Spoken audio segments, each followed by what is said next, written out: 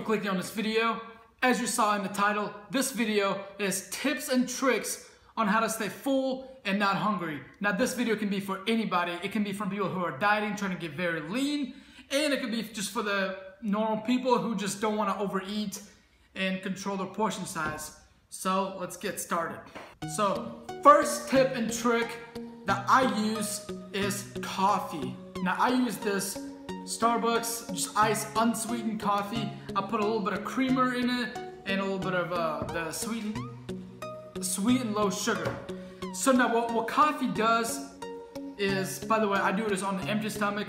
So coffee does is it kind of blunts your appetite and suppresses your appetite so where you're not hungry. And this works especially on an empty stomach. Um, I, I recommend to no more than two cups of coffee a day. Uh, this has, I believe, 110 milligrams of caffeine for eight fluid ounces. So two cups, that's 220. And the average adult, 18 and up, uh, can have about up to 400 milligrams of caffeine. So 220 is about half of the daily recommended. Um, so yeah, this is tip and trick number one.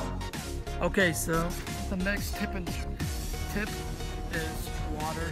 I like to drink about a gallon of water. This is half a gallon. And I like to put some BCAAs in here just to kind of give it some flavor. Bam.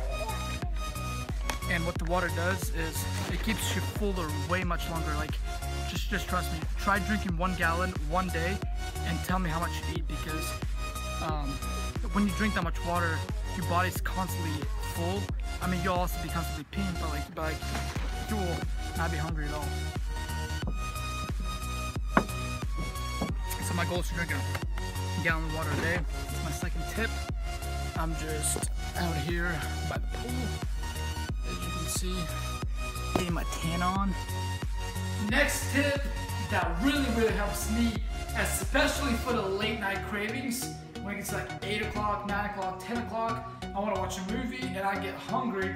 So I drink a couple cups of the Sprite Zero. You can do any kind of diet pop. I like diet root beer, diet Coke, whatever. But this really helps, especially when it has carbonation in it, which kind of like keeps you, I say, fuller for longer. So this is tip number three, I believe. The last tip is gum. I don't really have any with me right now. I actually ran out yesterday, but gum is probably the most helpful. That's why I saved it for last. Because what gum does, it keeps your mouth busy. So while you chew, you're, like, you're chewing, so so it sends a stimulus to your brain to, to make you not hungry. Because you know your mouth is moving, it's doing some kind of chewing motion, so it kind of like relieves the feeling of hunger. So that's my four tips, guys. Uh, if you use any of these, please leave in the comments below and let me know some of the tips that helps you. I really hope this video was helpful, and if it was, please share it, like it, comment, subscribe, and see you guys tomorrow.